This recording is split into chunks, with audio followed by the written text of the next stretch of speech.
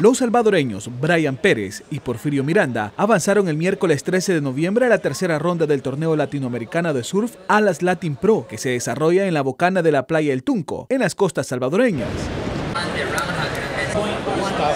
La sorpresa se dio este jueves cuando Brian Pérez alcanzó el primer lugar en su hit con un puntaje de 13.83, lo que lo hace avanzar a la cuarta ronda junto a su compatriota Porfirio Miranda, quien se posicionó en segundo lugar de su hit con 12.80.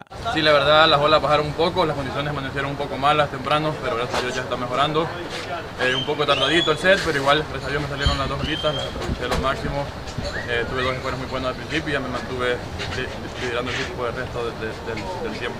Sí, sí, la verdad, eh, tuvimos un circuito antes para, para foguearnos y, estar, ya eh, confiado y entrando muy fuerte en esta ola. Eh, lo, aprovechamos lo máximo, bueno, estar en casa lo mejor, estar con mis amigos, la familia, es lo más lindo.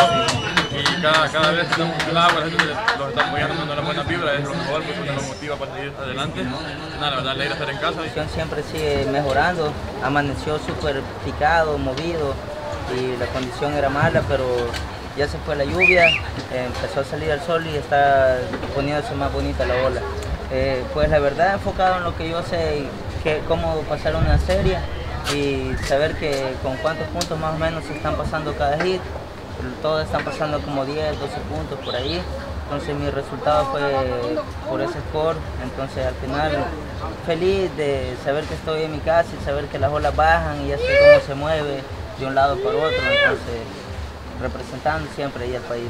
Los surfistas salvadoreños siguen en competencia poniendo en alto al país y será en horas de la tarde cuando vuelvan a las olas para buscar seguir avanzando en el segundo día del torneo, que se realiza del 13 al 16 de noviembre y que es catalogado como el evento más destacado de la región y el segundo de más rango al ser un 6 estrellas prime, organizado por la Asociación Latinoamericana de Surfistas Profesionales. Informó para la prensa gráfica.com Melvin Alas.